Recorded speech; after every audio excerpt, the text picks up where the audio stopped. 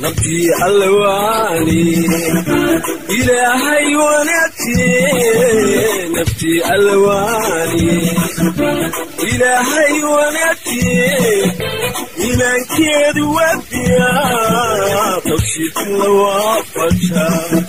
bismi illaahi araxmaan araxiim alxamdu lilaahi rabbi alcaalamiin salaatu wasalaamu calaa ashraf alambiyaai walmursaliin nabiyina wa xabiibina sala allahu calayhi wasalam meherku walaalayaal saddex sababood buu ku waajibaa. Saddexdaas sababood in inanka iyo inantu ay isla gartaan hantida ay isku mehersanayaan.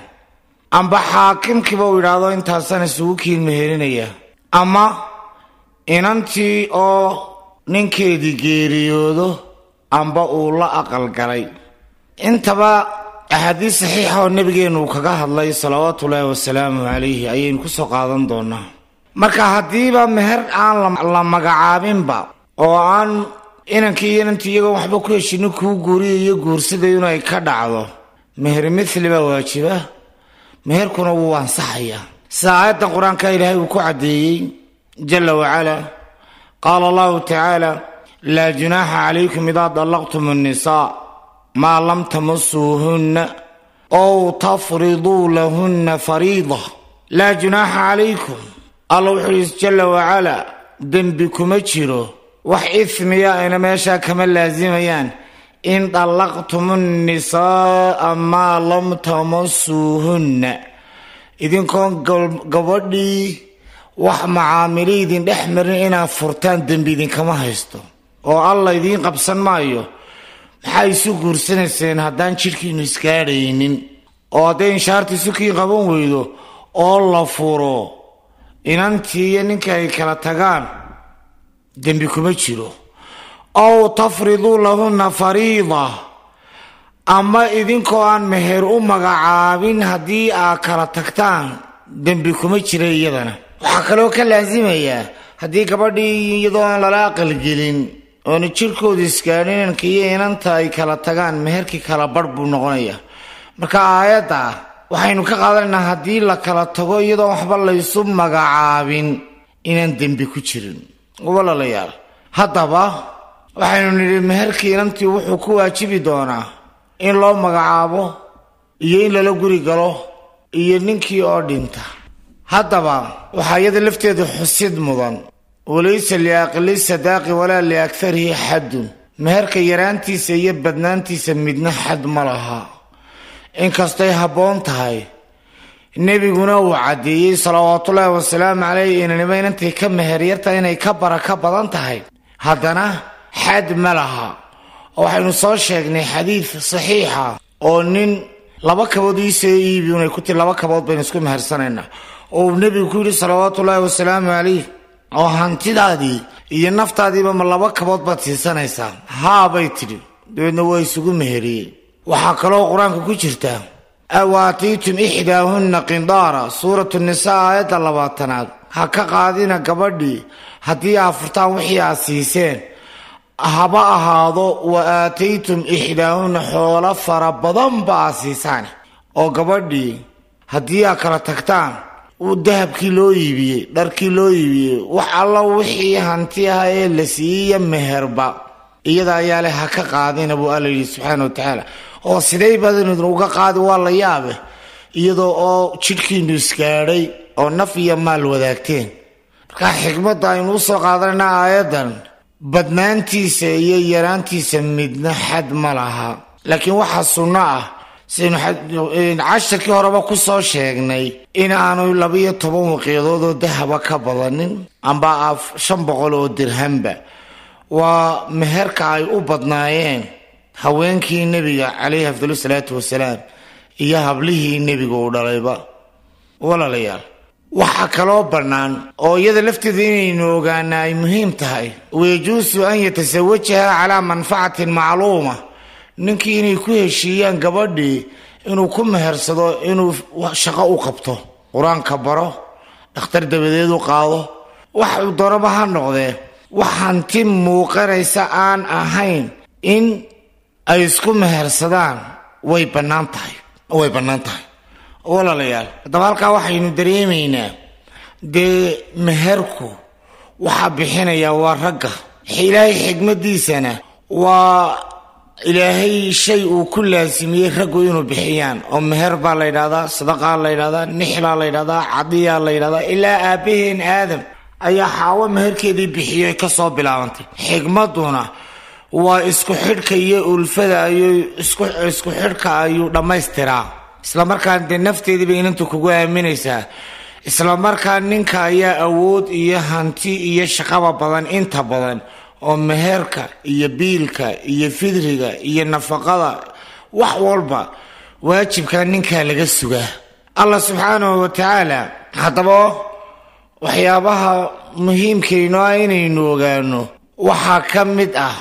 Inantii waxaynu nihi meherkii waynu fahamnay haddii inanka iyo inantu ay wax ku heshiiyaan amba qaadigii uu wax u garto waynu fahamnay iyada masalada. Waxaa kalaynu fahamnay haddii lala guri gala inantii meherkeedii wuu u sugmay iyadana haddii uu magacownaa haddii aanu magacownayna meherulmithli ayuunbaa u waajibaya. oo alla subxaa wain dallaqtumuuhuna min qabli an tamasuuhunna waqad faradtum lahunna fariidatan fa nisfu maa faradtum waxaynu halkaa ka qaadanaynaa inantii haddaa furtaan idinkoon jidhkiinni isgaadhin meherkuna uu magacownaa. Wixii aad isku mehersateen kala badh ayaa aad siinaysaa. Haddaba haddii jidhkiinnu isgaadhay maxaad ka fahamtay aayadda?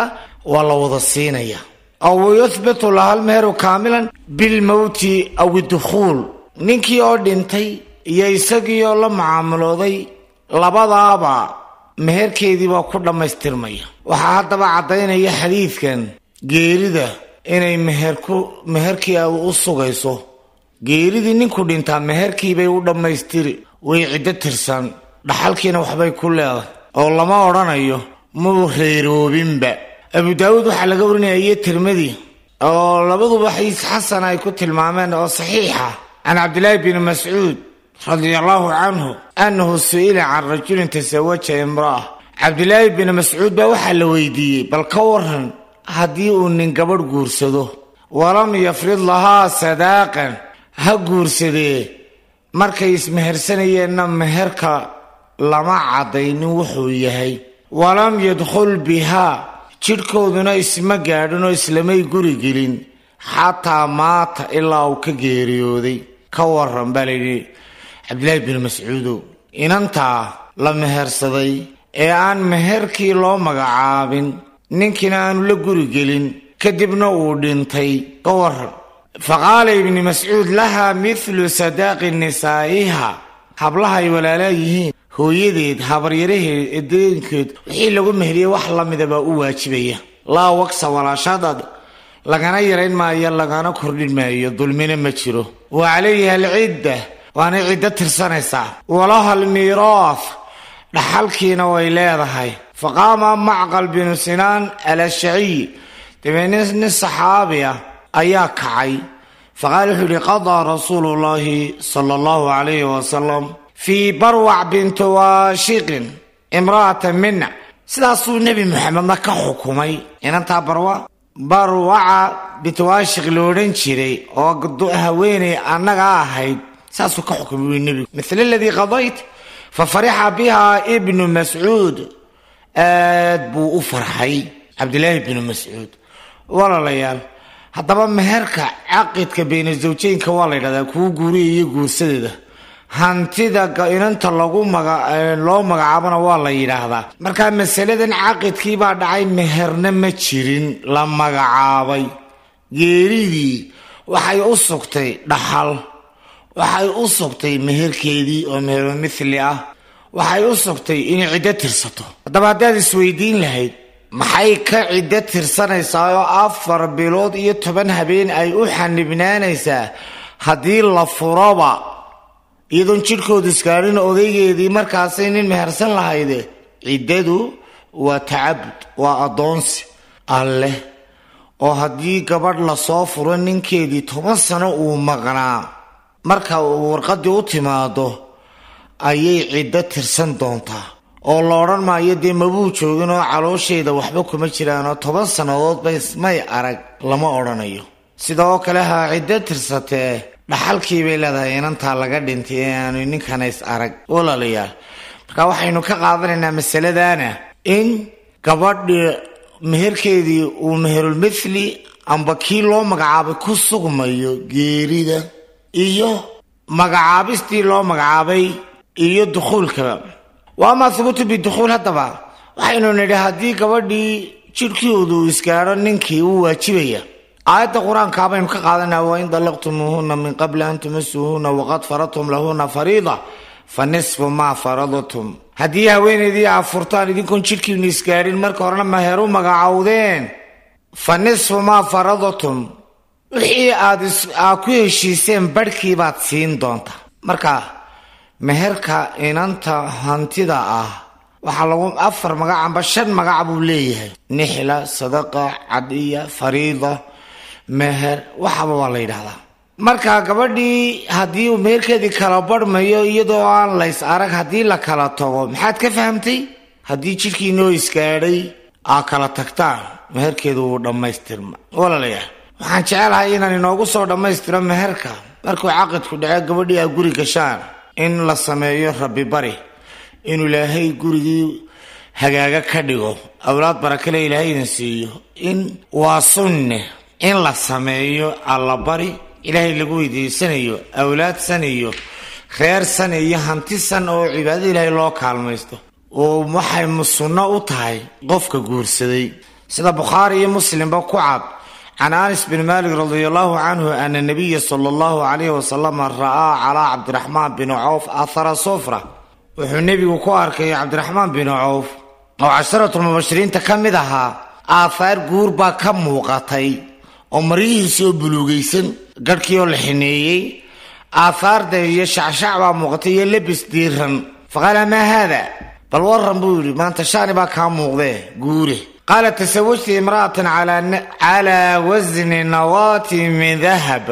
Wuxuu yidhi xabad timira laftimireed miisaankeed oo miisaankeed wax leeg oo dahaba baan gabadh ku guursaday dabadeedna nebigu markiiba wuu u duceeyey. Baaraka allaahu laka awlim walow bishaata allaha kuu barakeeye alla bari samee duca dhig. Walow kaana neef adhayaba aad ku rabi barideeda markaa caruusku marka reerkii la hoynayo in la ducaysto aad bay muhiim u tahay. Sidaa uu nebiguba salawaatullaahi wasalaamu calayhi uu u faray cabdiraxmaan bin cawf oo aada u jeclaa. Ka mid ah casharalmubashiriinta sidoo kale in la aqbalo haddii lagugu yeedho xaflad guur iyo qadadeedna waajib bay kugu tahay.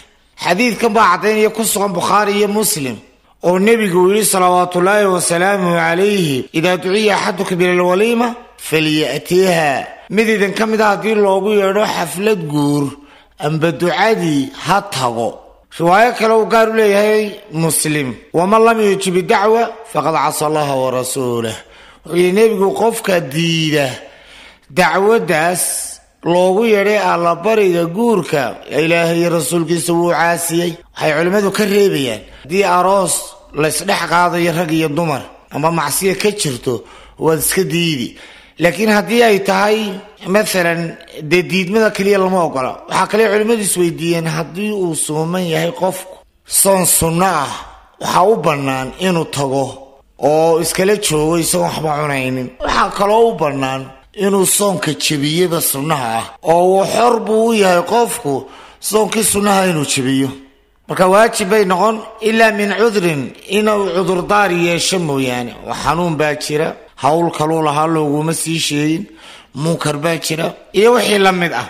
Walaalayaal marka xikmaddu guurka diinteennu waxayna fartay in aad loo buunbuuniyo. Si hablaha iyo inamadu aanay isugu ilaabeen dhallinyaranimada oo masaajidka lagu meheriyo oo durbaanka la garaaco oo la soo dhoweeyo oo arooska laga qayb galo iyada oo habdhaqanka diimeed la ilaalinayo. Oo habla iyo inama aanay isdhex qaadaynin. Oo gurigaagii xalaasha ahaa eed awlaad barakaysan iyo hanti barakaysan iyo oori barakaysan ka doonaysay waa inaad ka ilaaliso wixii munkara. Oo mas'uuliyadda ninka ayaa leh oo raggii maalintiisa uu tago dumarkiina maalintiisa. Bal waynoo dersigan dersiga xiga. Ilaahay waxaan weydiisanaynaa hadba diinta intaynu baranno in uu inagu anfaco wasalaamu calaykum waraxmat ullaahi wabarakaatu nabtii allawaani ilaahay wanaagtiye nabtii allawaani ilaahay wanaagtiye iimaankeedu wadiya tawshiidka la waafaja